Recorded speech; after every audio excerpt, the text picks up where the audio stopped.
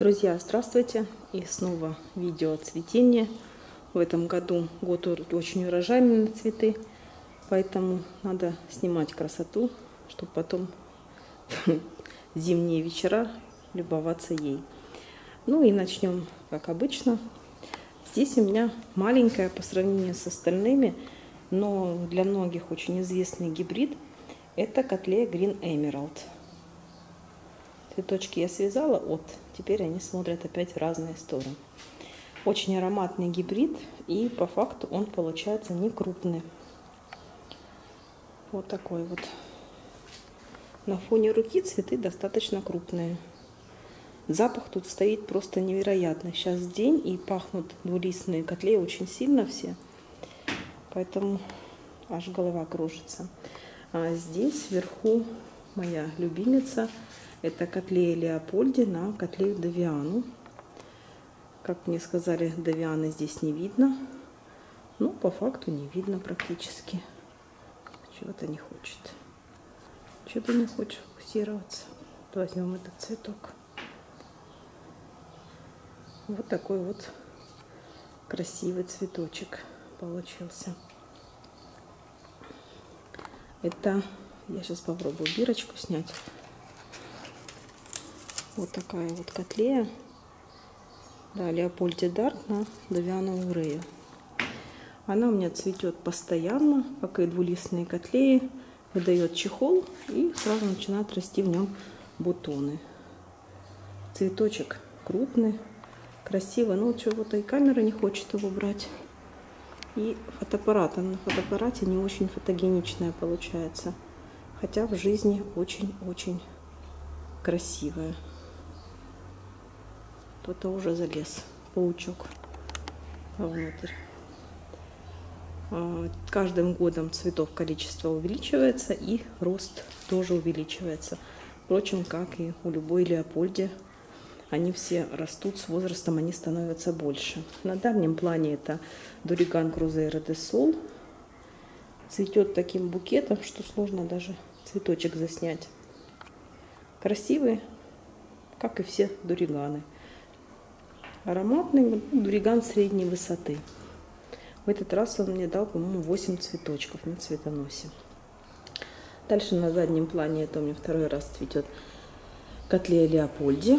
Леопольди, она идет меньше, чем котлея Гутата по размерам. А, цветок, правда, тоже чуть меньше, но по красоте это примерно они одинаковые. Ты, орхидейная муха какая-то села. Так, Дальше внизу здесь у меня первый раз цветет очень интересный дуриган. Дуриган Фойникс или Феникс. Не знаю, почему он мне на картинках совершенно не нравился. В жизни дуриган очень красивый. Вот эта вот шлериановская губа ему передалась. Может, от этого и название такое. Феникс. Красивый цвет, четыре цветка он дал. Вот такое вот растение. Вот цветы, как и все дуриганы, крупные, пластиковые. Несколько цветочков дали мутацию. Посмотрим на следующее цветение.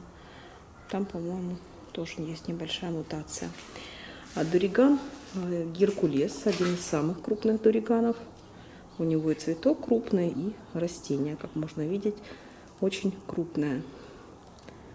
Пахнут сильно все дуриганы примерно одинаково. Здесь дуриган пилорик. Редкость редкостная. Вот такой вот красивенький. Он такой миничка, небольшой. Я бирочку сниму. Персей на Джемани, по-моему, Трилабелла. Такая вот старая бирочка. У меня даже горшок уже стал рассыпаться, нужно поменять.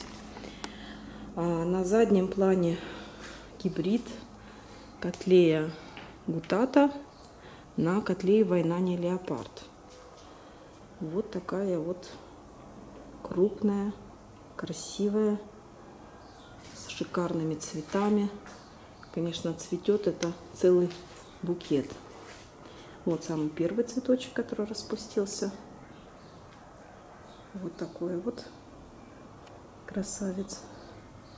Дала она мне прям много бутонов. Сейчас посчитаю. Раз, два, три, четыре, пять, шесть, семь цветков. Цветки, ну вот, фон руки. Вот такой вот один цветок. Соцветие можно понимать очень крупное. Цветет она два раза в год. В прошлый раз она мне второй раз ничего не захотела цвести. На заднем плане доцветает, который, наверное, в третье видео уже попадает.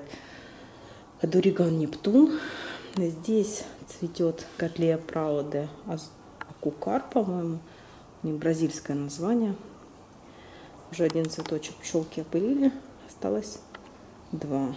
Такой розоватый цветок с выдающейся губой такой. Очень симпатичный. Цветет э, лилия тенеброза. Еще цветет пока. Пурпураты уже все. Им очень жарко сейчас. Теплицы получается, ну как и на улице, у нас 33 градуса. Тенеброза еще пока держится. Пока она еще не хочет отцветать. Тенеброза типовая. Здесь Война не леопард, это который в родителях у того большого гибрида на гутату. Вот э, настоящая война не леопард. Это не крупный цветок, ну как относительно не крупный, и имеет вот такие вот, можно видеть, что они все-таки похожи на второго родителя.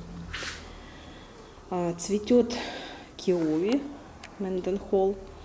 Ох, и красавица она. Вот из Брасовол тоже достаточно, вот как и Сант-Андре, один из самых красивых. И тоже вот считаю, что Киови тоже очень красивая котлея. Те желтые лепестки, как когда создавали гибриды, желтый э, цвет очень э, редко попадался. И тяжело было вывести котлею желтым цветом. Вот тут такие вот желтые лепестки, наверное, Давиана среди бросовов. А, доцветает уже один цветонос остался. С прошлого видео это балет фольклорика. Все цветет очень долго. А, цветет шамбурки. Она все-таки револьверная. Ей еще цвести и цвести. Симпатична она все-таки. Ну, вот такое вот видео о цветении. Ах, да, я что тут не обратила внимания, у меня тут распустилась первый раз котлея. Это амазинг на Hayat Delight. Я сейчас сниму ее бирку, потому что могу неправильно сказать. Вот такое вот растение. А, гибрид очень вариабельный, у всех цветет по-разному. У меня распустился вот так. В принципе, как бы мне нравится. Немножко губа недоокрашена. Ну, будем смотреть на второе цветение. Первое цветение не всегда показательно. Хотя форма губы достаточно красивая. Вот такая вот красота. Сейчас доцветают двулистные котлеи.